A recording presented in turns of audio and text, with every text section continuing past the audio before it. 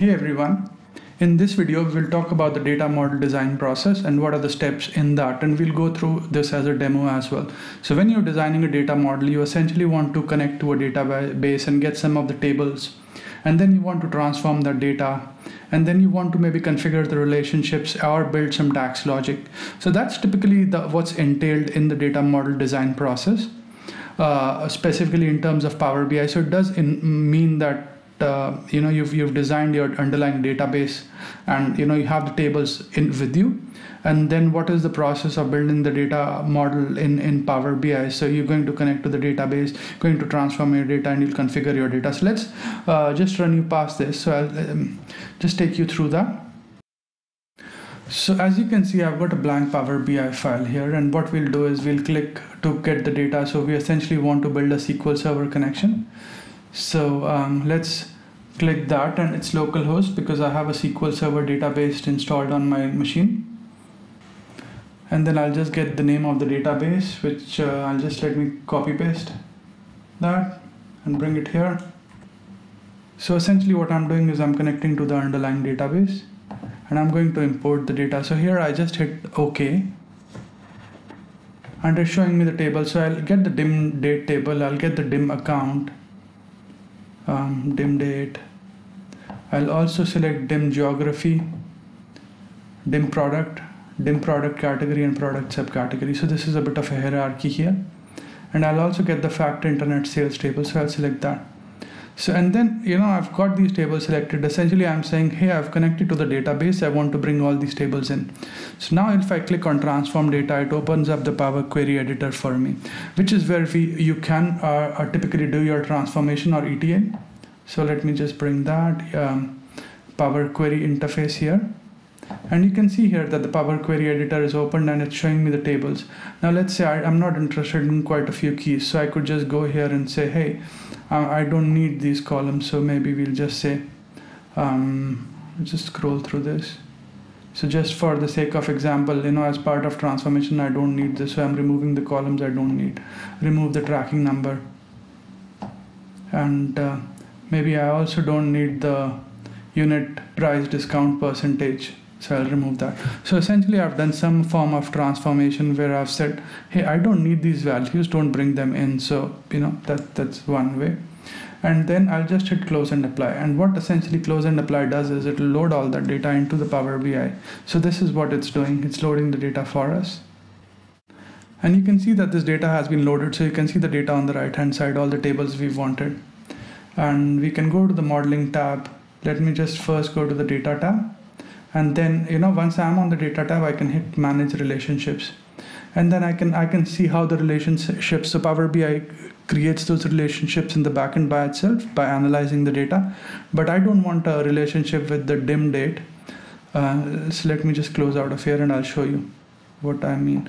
So maybe i want the relationship based on order date. So i'm going to uh, define or you know uh, my relationships here so these, I will leave these two tables for now. And you can see I'll just drag them date out. So you can see there are three and only one of them is active. So date key is due date key.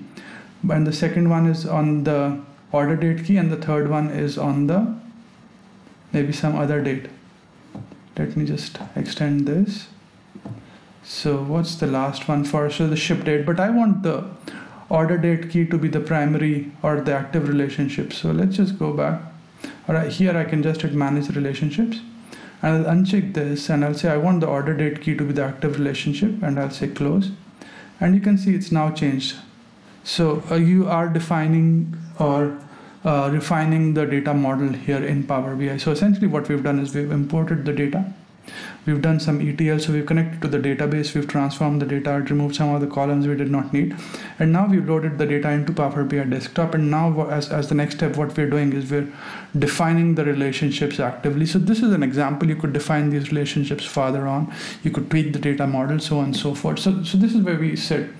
And now I've got the so fact internet sales. And let's say I want to do an analysis. So I also want to define the dim date. So I want to mark that table as a date table. So mark as date table. So I'll just say, hey, mark this as the date table. So that helps me with the time intelligence. And I'll say this is the column to use for time intelligence and I'll hit OK. So you, I would recommend anyone who's got a date dimension definitely go and do this. Um, it definitely uh, helps save a lot of space uh, and uh, optimize the data model. One of the good things to do. And then uh, let's say I, I, I quickly want to build maybe sales amount and I want to say by calendar year. So I'll just select the calendar year in my x-axis. Now let's say I also want to see, hey, uh, I also want to see the previous year's sales here. So how do I do it? So I, which means I'm going to maybe uh, add something into my data model or refine my data model further. So um, I've already got this logic. I'll just quickly copy and bring this logic here. So let me bring it. So all I'm doing here is I'm saying calculates fact internet sales and then I'm using a same period last year function. I'm passing the full date alternate key. So copy this and I'm calling it this function last year sales. So let's just go here and on the on the fact internet sales I'll just say new measure and I will paste the measures that I want. So I'll just copy paste this and that's it. And now I'm, I'm just going to uh, check this and this measure will become available to me. So you can see last year sales has been added. So I'll select this as well. And now you can see that so for 2010 my sales was a certain amount and now in 2011 it's showing me that as the previous year sales this is too small so uh, maybe that's so yeah you can see that so let's do this one it's 7 million i think 7 million 75000 so if you go here previous year sales so um, you can see that it's, it's we've basically uh, created a measure or enhanced our data model in this. So when you're doing uh, data modeling with Power BI, what are the steps? We just do a quick recap.